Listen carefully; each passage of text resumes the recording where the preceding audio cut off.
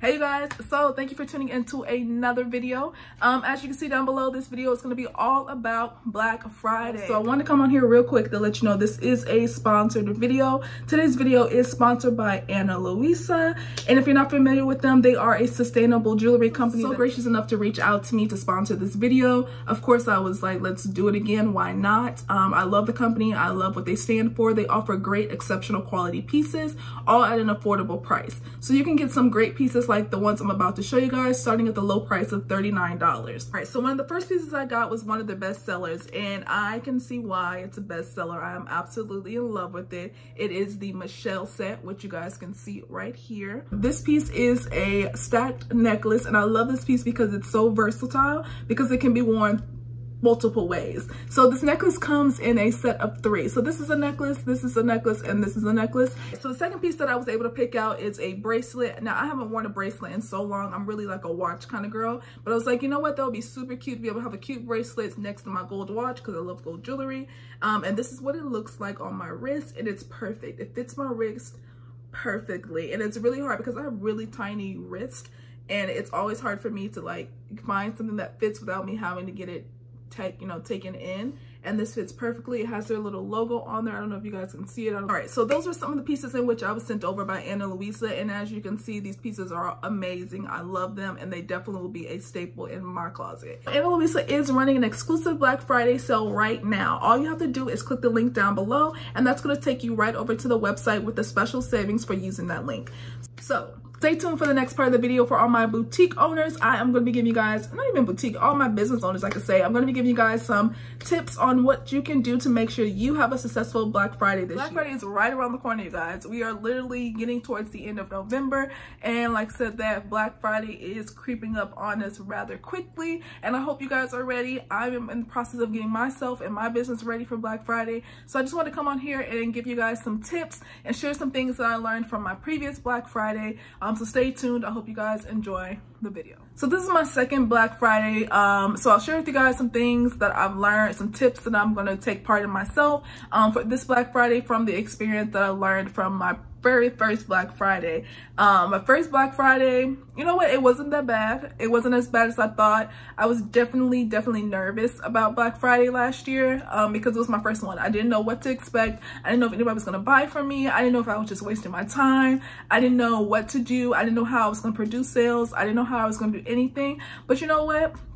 It turned out pretty good. It turned out better than I expected. Of course, I didn't sell out. I wasn't one of those girls you're seeing with like thousands of, you know, packages and thousands of orders and stuff like that. But for my very first business, for my very first Black Friday, I learned a lot. So I feel like after the fact, I was like, I could have did more to prep myself. So this year, I'm definitely more advanced. I am definitely more prepared for Black Friday. And of course, I just wanted to come on here and show you guys or share with you guys some of the things that I learned from my own previous experience that may help you getting prepped for your Black Friday. So the very first thing that I learned from Black Friday, uh, make sure that your inventory is prepared. So one of the, the, most embarrassing things that has happened to me in my business is that um, somebody ordered something and I was so excited that they got the order. They were excited that they ordered and I didn't have the item in stock. That is like one of the most embarrassing things. And unfortunately, it has not happened to me not just one time. It has happened multiple times only due to my own fault because I have not in the past I have not kept up with my inventory like I should have. So that would be my number one tip is to definitely make sure that you are aware of what your inventory looks like, that you have all the proper supplies that you need for your Black Friday. Make sure you have shipping material. Make sure you have, um, if you have little bags to put your items in, make sure you have enough of those. If you have inventory, make sure you know what your inventory is. So pretty much you want to make sure that your inventory matches your website and that your website matches your inventory. So tip number two is going to be test your website. You want to make sure that you have a functional website. The last thing you want is for people to go to your website anticipating on spending money because they've seen an email or they've seen an ad that you may have been running on something they've really been wanting and it's at a great price and they flock to your website only for your website not to work or only for them get to your website and they can't find it. That's the last thing that you want because that will drive people away. Shopify does allow for you to test your website. The only downfall of that, I think they make you shut down your website for a moment while you test it. Um, I'm not sure, but I, I know you can test your website through Shopify. Um, but if not, even the case, if you pull your website up on your cell phone and test act like a shopper go all the way to the end proceed make sure everything is functional my next tip for you would be is to create a marketing plan what is your plan in regards to how you are going to get the traffic to your website this Black Friday? So it's more than just putting a post on Instagram and saying, hey, we're having a Black Friday sale, this, this, and this, 40% off, whatever the case may be. It's a lot more work than just posting an Instagram post, I will tell you. Last year, I thought it was all about posting an Instagram post and boom, all these people were gonna go to my website and buy out my website. It doesn't work like that at all. Now, don't get me wrong. I did have some people from my Instagram. I don't, you know, I had a lot of traffic for what I for the work I did put in. So it's all about the work you put in. The more work you put in, of course, the better results you get. Um, but I did do a consistent Instagram post last year. It did give me some traffic, but it did not give me the traffic that in my head I thought I was to get just because I had posted an Instagram post. I don't know. In my head, I thought that I was to post this Instagram post and these thousands of people were to flock to my website and I was to have all these sales because I was having this amazing, cra crazy Black Friday sale and I was to sell out. That didn't happen. That did not happen at all. Now, don't get me wrong. I did have a few sales come to the website. I did have a lot of people check out the website, but there's so much more than posting an Instagram post because just because people see the post they go to your website does not mean they're going to buy. So you have to have a plan to hype people up. You have to get them excited. You cannot wait to the morning of Black Friday or the night before and think that you're going to post this stuff and people are just going to flock to your website. You have to build up the anticipation of Black Friday. So that's why we have to have a plan now, like today. You should have a plan ready as to how you're going to attract people to your website and create sales. You know, there's so many different ways in which you can build up hype. Black Friday is all about the hype of um, what's going to happen. And just be honest, even with myself as a consumer, I'm, I'm already excited. Like, okay, what am I to buy? Who's putting out their ads? Like, there's certain things like I want to get. And I'm like, okay, I've not bought anything for the month of November just because of Black Friday. Because I'm like, I'm not going to spend my money on something when in a couple weeks it's going to be on sale. So I'm going to wait till Black Friday to be able to go and buy and you see these emails strolling in.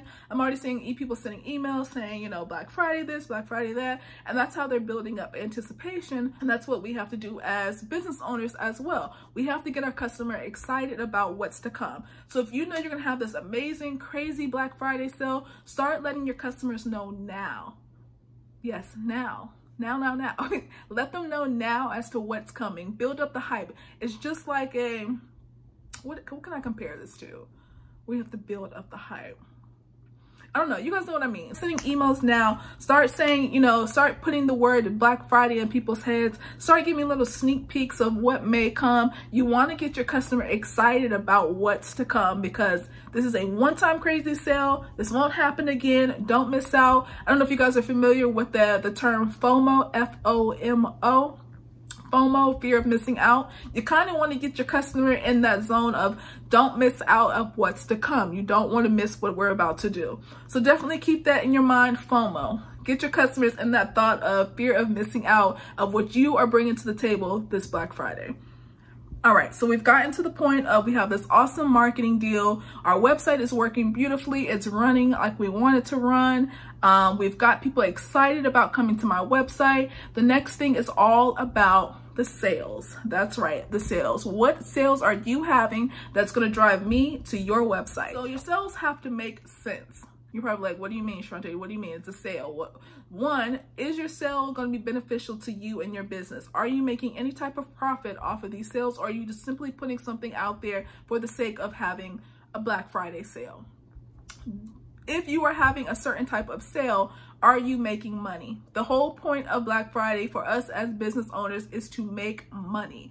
Let's just be honest, that's what it is. It's not out here for me just to say, oh, I have a business. No, I'm in the game to make money. So are you making money based upon the sales that you're having? Just because so-and-so is running a sale saying that everything is $25 on their website for the day does not mean that it's a good sale for you. Your sales have to make sense for you and your business. So definitely make sure when you're creating your sales plan that you are profiting some way or one way out of another out of these sales. Not wake up the morning of Black Friday and say, hey, I'm going to do a sale for 50% off my website because it's 50% off for your website might not make sense where it may make sense for Pretty Little Thing or Fashion Nova or whomever. That doesn't work for me and my business. It has to work for you and your business because you want to ultimately make money. The thing is, do your sales make sense? Is you have to have something exciting for your customer.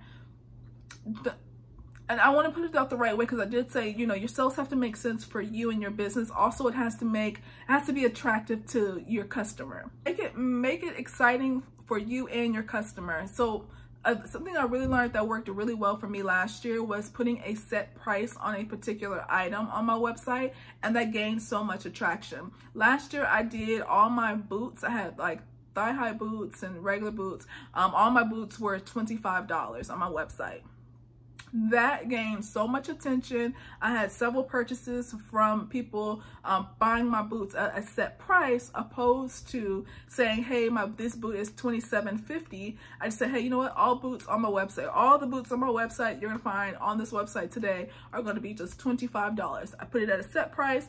It's easier for the customer to to take in. It's easier for them to understand. They don't have to worry about, is it gonna be, you know, add-ons or anything. It's just a set price all boots $25 and it keeps things very simple it's very appealing to the customer um, so that was something that worked for me that I'm going to do again this year. Um, not necessarily boots for $25, but I am going to do a set price for a particular item because that just attracted my customers so much more than me putting them at a different price and saying, oh, they're 40% off. For whatever reason, whole numbers, set prices work wonderfully for at least for me and my business for Black Friday that we can give. Um, there's so many more tips out there that I can give in regards to what helps me and what I learned, but these are just some of the main ones that stood out to me was to maximize your sales. And what I mean by maximize your sales is take advantage of the opportunity. Not take advantage of your customer per se in, in, in that sense, but take advantage of the opportunity. What do you mean, Sharante? It's Black Friday people are anticipating on spending money. People are ready to spend money. Me as a consumer, I am ready to spend money with these companies, but I want to see what they have to offer.